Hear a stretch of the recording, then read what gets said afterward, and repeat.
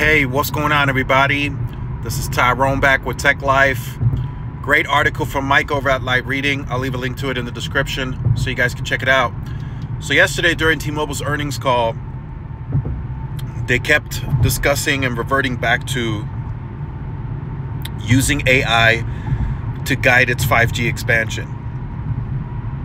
So yes, I, I, I get it. You got you gotta you gotta get with the times. Technology is moving forward. AI is playing a bigger role, and, and T-Mobile is using advantage of that.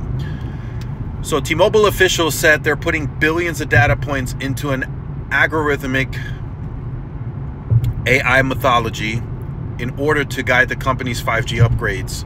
So it's they're really just using a computer system that's telling them where where they need to deploy additional spectrum, additional sites because of low RSRP.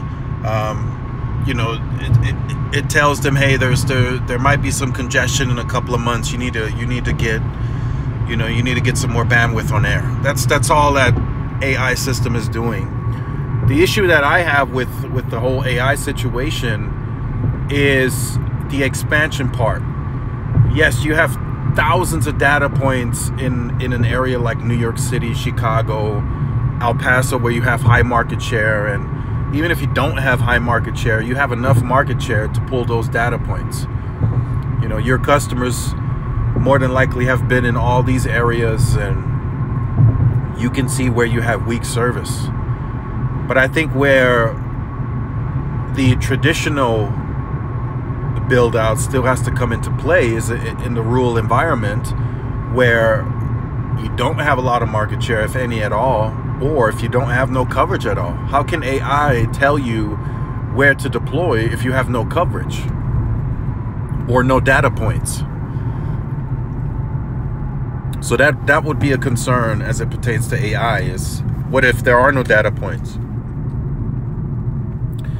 If AI can't see any data points, it doesn't know anything's there, it can't tell you anything. So that's where I think they still have to take the traditional approach and they have to, you know, send engineers and they have to pre-plan and all that to, to get more coverage into more places. But I think the technology is fine in the top 100 markets. I think there's enough data points that that where they can pinpoint, hey, we do we do have uh, we do have a slowdown in the next 12 to 18 months, or we we do need some service, uh, some additional densification here because of lower RSRP, which is giving our customers a worse experience.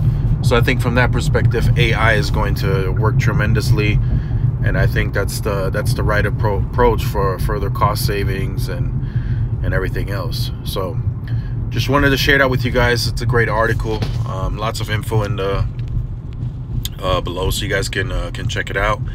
They have thousands and thousands of uh, projects currently planned under this AI, and I'm sure there'll be thousands more to come as we move forward through 5G.